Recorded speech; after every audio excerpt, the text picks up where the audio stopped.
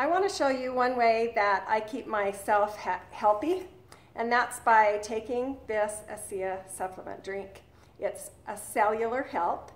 So I just pour it in this cup that comes with it when you order it, and I drink two ounces.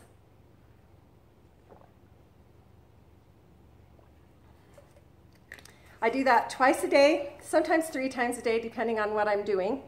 And then I exercise in the morning and it helps with endurance. You will be amazed at how much it helps. And this is one exercise that I want to show you that I do in the mornings. I have a weighted hula hoop and I do my hula hoop every morning. And it's a fun way to get my exercise in. And it's two and a half pounds weighted. You can order them on Amazon. I get them at TJ Maxx in their athletic section. Sometimes they've got it there, or um, you can find them, I'm sure, at any athletic store.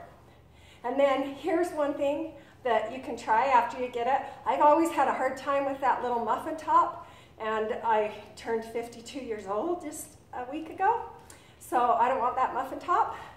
So then I do the other way. And I have been practicing this for a long time, so don't get discouraged if you can't do it the opposite way because it's hard.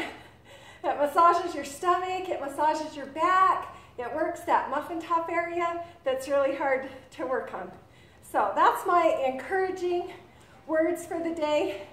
Drink two ounces of ASEA and then exercise because it really does help with your endurance. Thanks, guys.